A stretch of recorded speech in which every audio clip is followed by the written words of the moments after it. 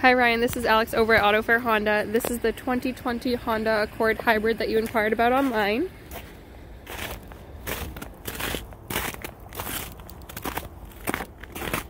Okay. Plenty of trunk space back here. Those back seats do fold down to 60-40 split by pulling on either of the levers on either side.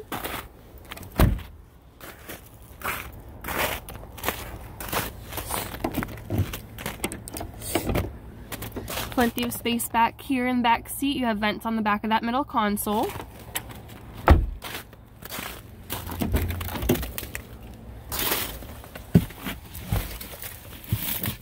Okay, you do have a push button start. Okay, you also have a remote start right here on your key fob. You have all your climate control settings right down in here. Heated front seats, your USB. Okay, a little compartment here. You can close that if you want some hidden storage.